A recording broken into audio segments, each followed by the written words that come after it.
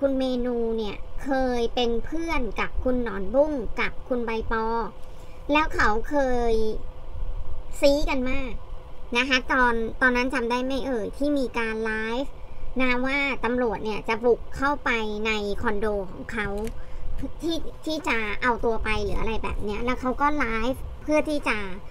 ประจานให้สังคมได้รับรู้ จนสุดท้ายเนี่ยก็ออกตัว เขาเอ้ยไม่ใช่ออกตัว คือเขาเรียกอะไรออกไปมอบตัว ไปเจอกับหมายจับอะไรแบบเนี้ย แล้วก็พากันนั่งรถของตำรวจไป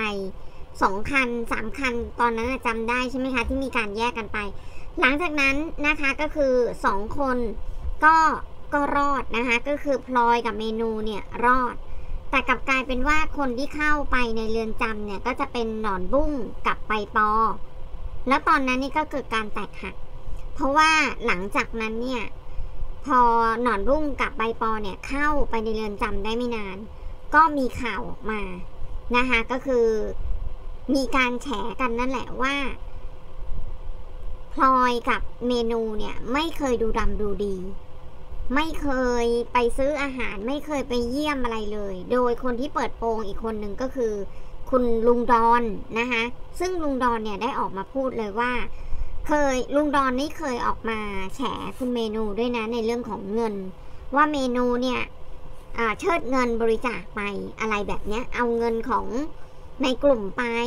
แล้วก็หนีไปลี้ภัยไปอะไรอย่างเงี้ย แต่ว่าเราก็ไม่เห็นว่าเมนูเนี่ยจะออกมาชี้แจงอะไรเลยนะ แต่ว่าก่อนหน้าที่จะมีการลี้ภัยเนี่ย คุณพลอยกับคุณ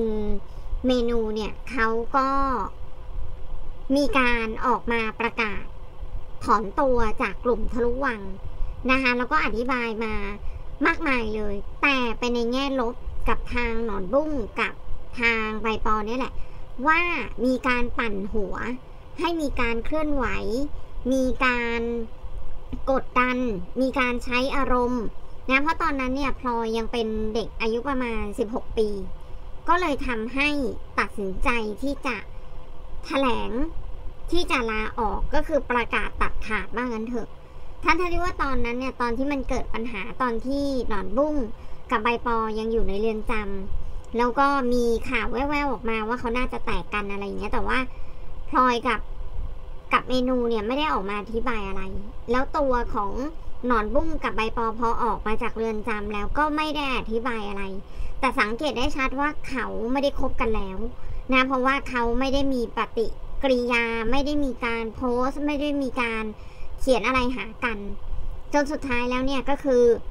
อพลอยกับเมนูก็หนีลี้ภัยออกไป แล้วหลังจากนั้นเนี่ยก็อย่างที่เราเห็นนะคะ ก็มีการเคลื่อนไหวในกลุ่มของทะลุวังเรื่อยมา จนมีในกรณีของหยกนะคะแล้วก็เรื่องราวมันก็เริ่มประทุขึ้นมา เดี๋ยวเราก็จะพาทุกคนไปชม นะมิอยากจะให้อ่าหลาย ๆ คนนะคะ ก็ลองแสดงความคิดเห็นดูกันละกันนะคะว่าในเคสนี้เนี่ยคุณคุณคิดอย่างไรนะสำหรับทะลุวังกับกับหยกแล้วก็พลอยกับเมนู ที่ตอนนี้เนี่ยเขาออกมาแฉนะคะเราอยากให้ทุกคนลองแสดงความคิดเห็นดู โอเคนะคะ เราไปดูกันต่อเลยว่า ต้นตอมันมาจากอะไรนะ ฟังดีๆนะคะ อืม เเดี๋ยวเรามาดูเนื้อข่าวกันนิดนึงนะคะบอกว่า เปิดตัวตนนะคะ อันนี้เป็นเนื้อข่าวเนาะเราดูคร่าวๆนิดนึงเขาบอกว่าเปิดตัวตนปันจับพลเสน่ห์สังคม เจ้าของวาทะ ผมเป็นผู้พิพากษาของพระเจ้าอยู่หัว ผมเป็นผู้พิพากษาของพระเจ้าอยู่หัวนะคะ เป็นข่าวของผู้จัดการในวันที่ 7 สิงหาคม ปีพศ 2558 ถ้อยคำคำนี้นะคะกลายเป็นที่ประทับอกประทับใจของผู้ที่ได้รับรู้ ผ่านทางด้านสื่อออนไลน์ ที่มีการแชร์ข้อความกันอย่างกึกก้องในช่วงเวลาข้ามคืน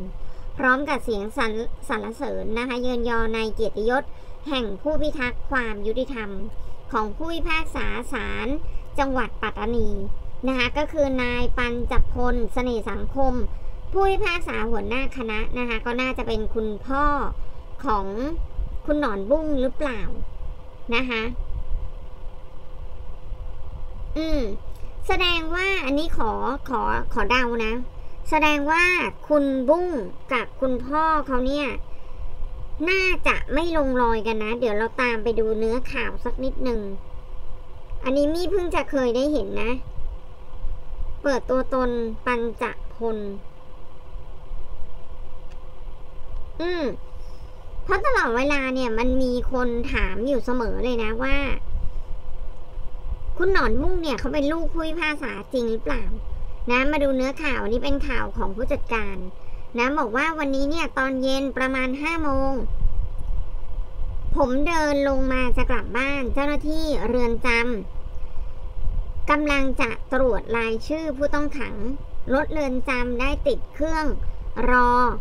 ขนผู้ต้องขังเนี่ยไปเรือนจำมีผู้หญิงคนหนึ่งนั่งร้องไห้อยู่ สอบถามได้ความว่า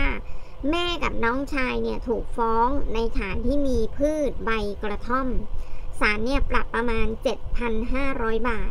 จะประกันตัวต่อก็ไม่มีเงินจ่าย นายประกันอาชีพก็เลยกลับบ้านไป หยิบเงินยืมญาติมาได้ 6,000 บาท ไม่พอเสียค่าปรับ นายประกันอาชีพก็ไม่ช่วย แถมยังบอกว่าถ้าจะให้ช่วยต้องไปหาคนมาค้ำประกัน จึงยอมยื่นประกันในชั้นอุทธรณ์ให้ เธอหมดหนทางที่จะช่วยแม่และน้องได้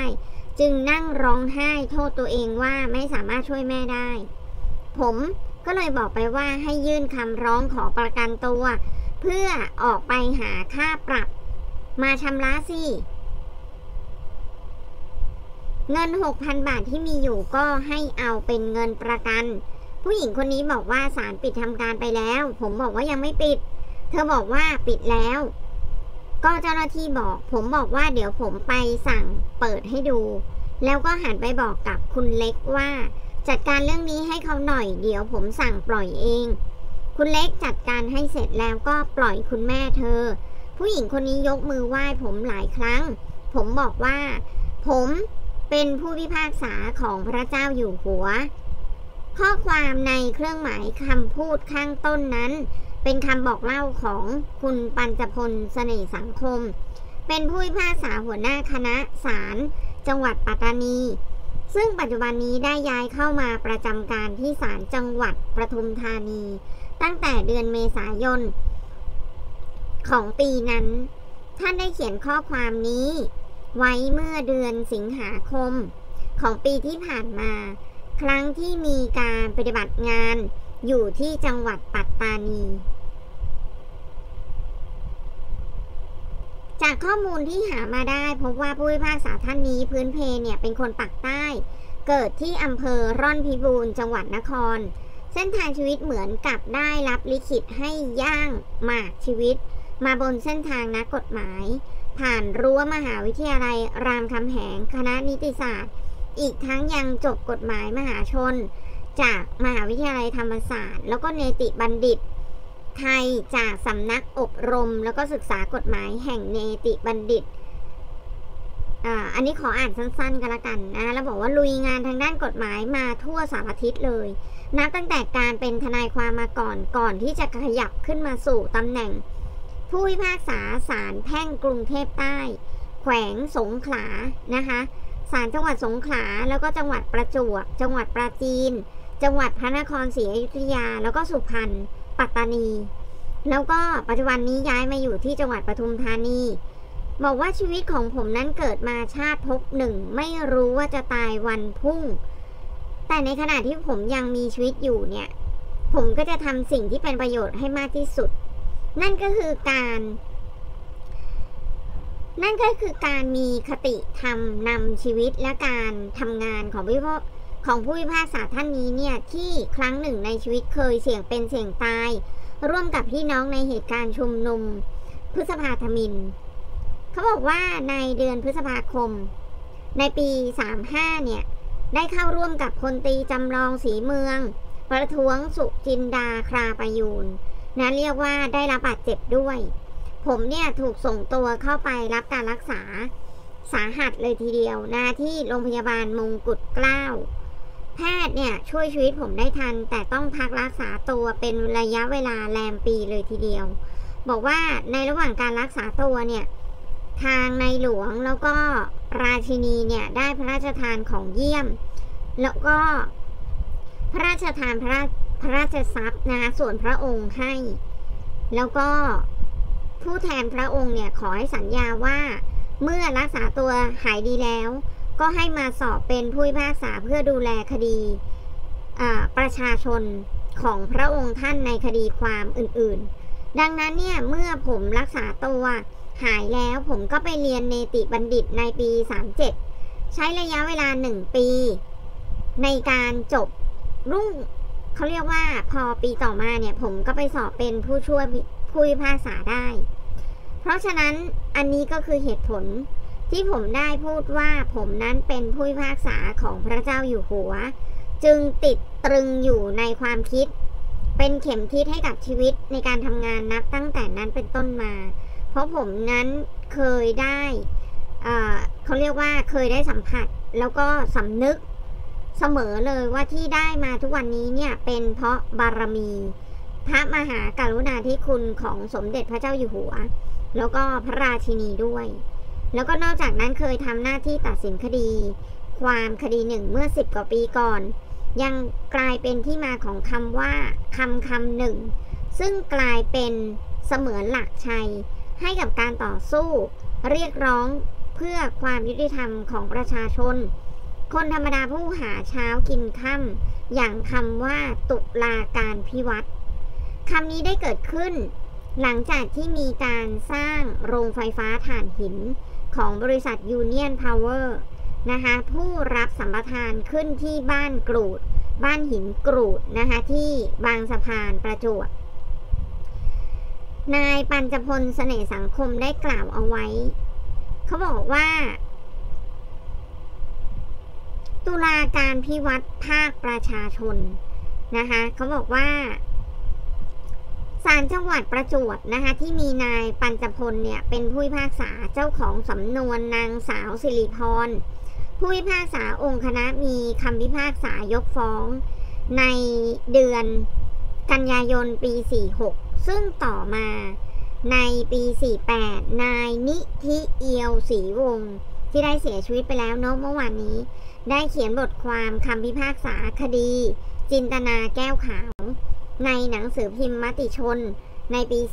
49 แล้วก็นายเกษียณเตชะพีระนำคดีนี้มาเขียนเป็นบทความ ในหัวข้อ ตุลาการพิวัตรภาคประชาชน เขาบอกว่าในส่วนของคดีนั้นเนี่ย โจทอุทธรศาลอุทธรภาคเจ็ดได้ตัดสินกลับคำพิพากษาศาลชั้นต้น ให้จำคุกนางจินตนาไป และศาลเนี่ยเชื่อว่านางจินตนาเนี่ยบุกรุกเข้าไปในพื้นที่ส่วนตัว ของบริษัทจริงพิพากษาให้จำคุก 4 เดือนโดยไม่รอลงอาญา อันนี้มันเป็นรายละเอียดของคดีเราก็ขอข้ามไปแล้วกันแต่ว่า สิ่งที่เราต้องการเสนอคืออะไรไหมคะ ผู้ชายคนนี้น่าจะเป็นคุณพ่อของคุณเนติพรหรือว่าคุณบุ้งเนี่ยแหละ ซึ่งน่าจะเป็นสลิมเต็มตัวแล้วแหละ เพราะว่าคุณพ่อเขาบอกเลยว่าเขาเนี่ยได้รับพระมหากรุณาธิคุณนะคะ ก็คือรับใช้ทางในหลวงเนี่ยแหละ แล้วก็บอกว่าผมเนี่ยรอดตายจากพฤษภาธมิน ผมไม่ต้องกลัวอะไรต่อไปแล้ว แล้วผมเชื่อว่าสงครามมันไม่มีวันจบ หรือถึงแม้ว่าจะถึงวันสงบด้วย ปลายกระบอกปืนแต่ก็ต้องได้มาด้วยการเจรจาเท่านั้น ถ้อยคำที่กล่าวเนี่ยนับว่าเหมาะสมยิ่งแล้วกับตำแหน่งของผู้ที่เป็นที่พึ่งของประชาชนและยิ่งส่งเสริมให้ถ้อยคำที่ว่าผมเป็นผู้พิพากษาของพระเจ้าอยู่หัว เรืองรองผ่องงามในความรู้สึกของผู้คน โอ้โห เรียกว่า จะพูดว่ายังไงดีอะ คือแสดงว่าคุณบุ้งกับคุณพ่อเขาเนี่ย คนละขั้วกันเลยนะ คือบุ้งเนี่ยก็จะชัดเจนในเรื่องของประชาธิปไตย แสดงว่าเขาอาจจะแตกหักกันนะ เราขอเดาเลยว่าน่าจะแตกหักกันหรือเปล่า เพราะว่าพ่อเขาเนี่ยก็ไปทางสายสลิมนะคะนี่ก็ก็ก็ถือว่าเป็นการดีนะ เพราะว่าตลอดระยะเวลาที่ผ่านมาเนี่ย ส่วนมากจะมีคนถาม นะคะว่าพ่อเขาเนี่ยเป็นผู้พิพากษาจริงหรือเปล่านะคะแล้วการที่ออกมาเคลื่อนไหวแบบนี้แล้วพ่อเขาว่ายังไงก็แสดงว่า วันนี้เราได้คำตอบแล้วนะ ว่าน่าจะเป็นคนละขั้วกันเลย คุณสังเกตไหมคะว่า ตอนเนี้ยใครก็แล้วตาม ใครก็แล้วแต่นะที่เป็นสลิมเนี่ย คุณสังเกตไหมคะว่าบรรดาลูกเขาเนี่ยจะเป็นสามกีบทั้งหมดเลยนะ ไม่ว่าจะเป็นคุณหญิงพรทิพย์นะแน่งน้อย หรือว่าเนี่ยคุณพ่อของเนติพรอะไรแบบเนี้ยก็อยากจะให้ทุกคนได้ได้ลองดูกันละกันนะ ว่ามันมันน่าจะมาจากการกดทับของคนในครอบครัวด้วยอย่างในเคสเนี้ยก็คือ บุ้งอาจจะรู้ว่าคุณพ่อเขาเป็นยังไงอะไรแบบเนี้ยก็เลยตัดสินใจที่จะแยกเขาเรียกอะไรแยกบ้านกัน บุ้งก็ออกมาอยู่คอนโดอะไรแบบนี้จะได้หลีกเลี่ยงการปะทะ เพราะฉะนั้นในการเคลื่อนไหวของบุ้งในลักษณะแบบนี้เราก็น่าจะเดาได้นะว่า คุณพ่อบุ้งเนี่ยก็น่าจะไม่แฮปปี้นะคะก็ประมาณนี้เนาะ